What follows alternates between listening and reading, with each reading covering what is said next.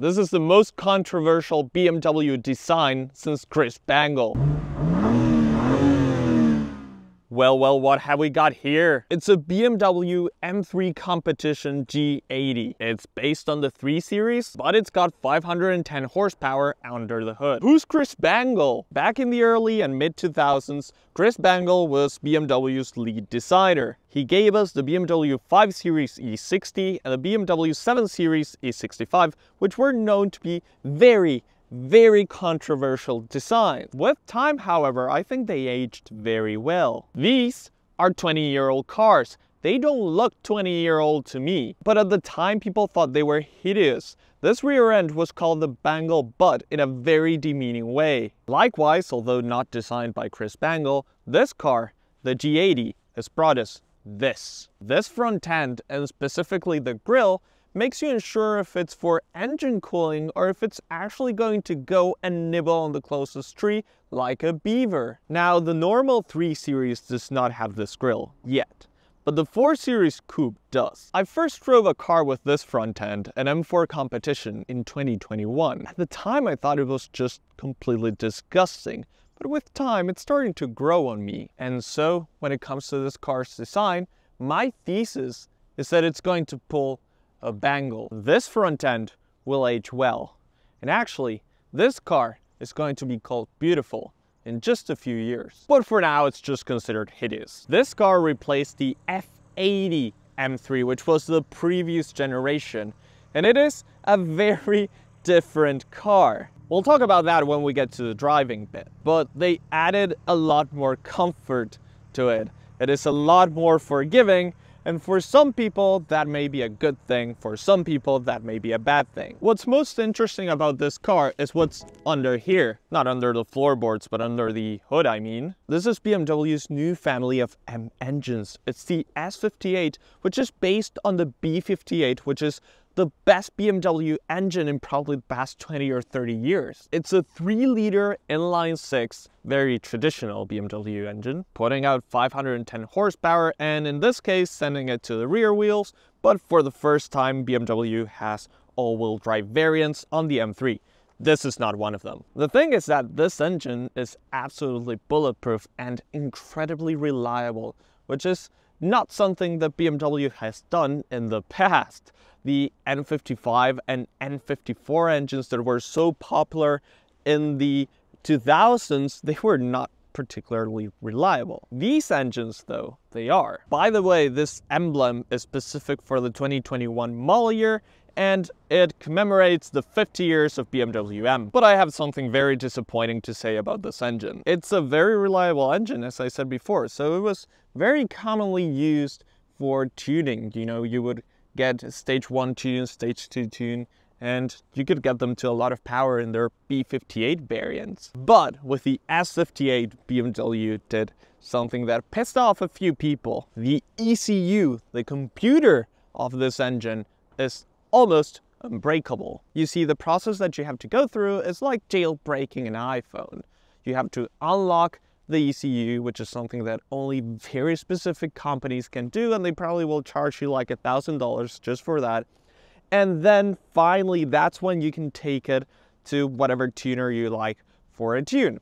But here's the interesting thing.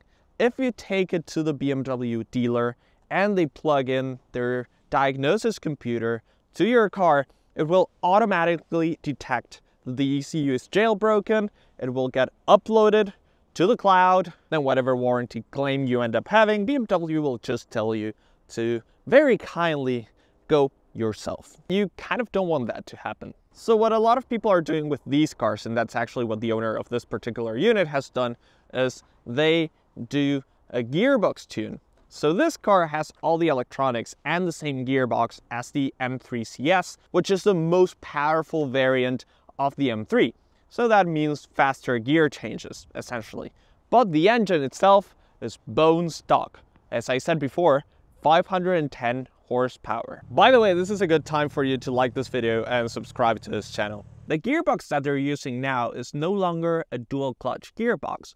BMW has shifted towards conventional torque converters again. That used to be a bad word in performance cars just 10 years ago. But now they've gotten so good that you no longer need a dual clutch gearbox to have blisteringly fast gear changes. And since they were relatively problematic, or at least more problematic than a normal torque converter gearbox, they decided to just leave that. And to be honest, I haven't heard a lot of people miss them. This is a ZF automatic 8-speed, essentially the same automatic torque converter gearbox that AMG is using, BMW is using, everyone's using these 8-speed ZFs. They're really good, they're reliable. Most parts are interchangeable with other models, so repairing them is easy if something breaks down. Oh, and before you go complaining like, oh, I cannot tune this car, these sucks. Well, let me tell you that 510 horsepower is not a small figure. I was accelerating this car on the highway. I was doing 100 kilometers an hour, that's 60 miles an hour. The speed limit is around 80 miles an hour here in Spain in the highway. 75 actually. And I floor the car and in like two seconds, just if I wanted to get a small sample of the engine sound, I was doing very illegal speeds and not like speeding a little kind of speeds, like going to prison speeds. It's not a car that lacks power. And if you really, really, really want to tune it, just wait until the warranty expires, then you can get the ECU flashed and you can get whatever tune you want and no one will care about it. Hey man, if you blow the engine then it's on you. Another interesting thing the owner of this car told me, by the way, the owner of this car is one of my closest friends, he's a very famous YouTuber here in Spain, is that he's using these Yokohama semi-slicks as daily tires. He said he's actually been very pleasantly surprised with how they work, even on the rain. Well, I wouldn't daily drive a car with semi-slicks, but he owns this car, he knows better than me. The rear end of this car is not controversial at all. Every single person thinks it looks brutal, looks amazing, and I fully agree with them. The quad exhausts, the carbon fiber everywhere, even the M3 competition badge. This car looks meaner from the back from the front. And I'm doing this shot before a BMW fan comes here and goes like, hey, if you're seeing the rear end, it means you're losing. So of course it's gotta be the meaner aspect of this car. Because all those AMG and RS drivers will lose against this M3. Sorry man, that still doesn't excuse you from deciding a beaver front end. The wheels, some fantastic looking 19 inch, again, with the 50 year M logo. Very cool looking, very good for sporty driving, maybe not that good for potholes. Let's hop in. And now's when you're gonna say, Lucas, we cannot go anywhere, the hood's still up. Yes, we're not going anywhere, yet. But we are actually starting the car. We gotta wait until the car heats up. We can see there we cannot exceed 3500 RPM. It says there, all power will be available soon. Now here's the thing. Why aren't we going anywhere? This is a driver's car. There are two things I have to talk about first. Number one is the equipment on this car, because these M3s come fully loaded. And number two is that if you're actually buying these cars, the first thing you're gonna do is not drive away. But actually, the first thing you're gonna do is start pressing buttons, because the amount of things you can configure on these cars is simply amazing. Before you set off anywhere, take some time, maybe like 12 to 18 hours to actually go through every single menu. And you don't want to set off without engaging the perfect driving mode. Equipment, electric seats with memories, power folding mirrors, of course, blind spot detection, automatic headlights and automatic high beams. We'll talk about these little buttons in just one second. Cruise control, heated and ventilated seats, triple zone climate control, you've got climate control in the rear end as well. Active exhaust, you can quiet or make louder. As you can see there, the surround cameras.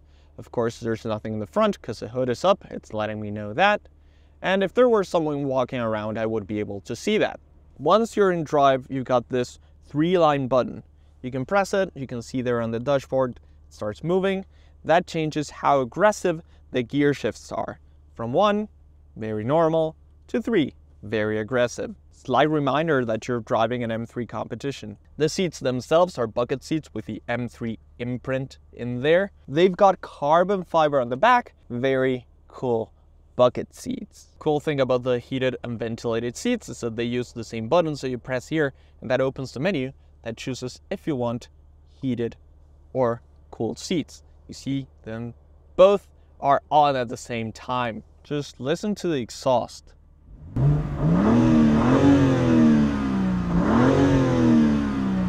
Now these are personalized settings M1 and M2, which you can leave configured so that when you press them, you go into exactly the mode that you want. So in this case, M1, you press, you actually have to press twice, goes into a sporty mode that my friend has configured.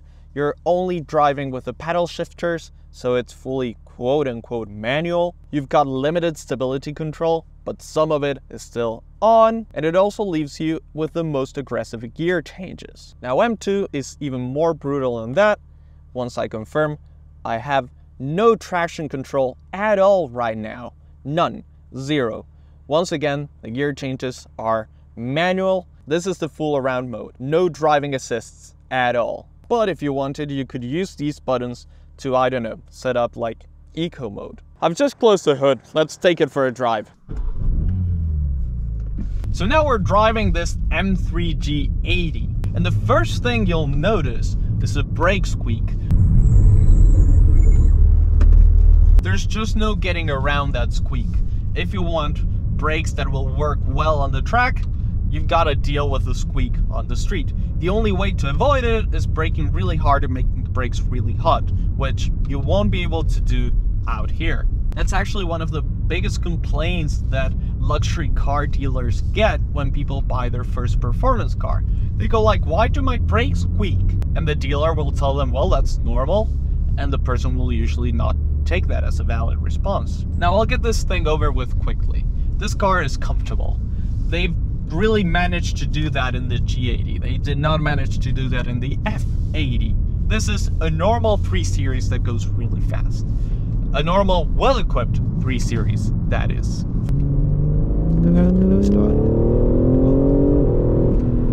I've just set the transmission into its most aggressive mode.